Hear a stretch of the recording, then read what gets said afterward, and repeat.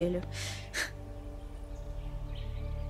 Quando a Lita morreu, ela me chamou de sortuda. Mas a idiota aqui pensou: você ainda é só um número, Dani. Não é ninguém. Mas eu não dei ouvidos.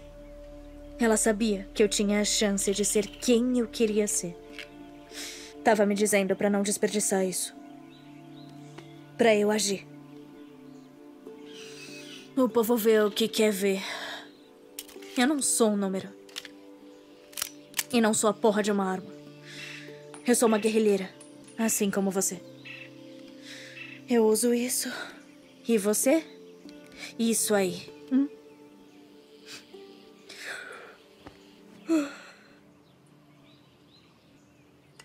Eu poderia ser um pistoleiro de estilo?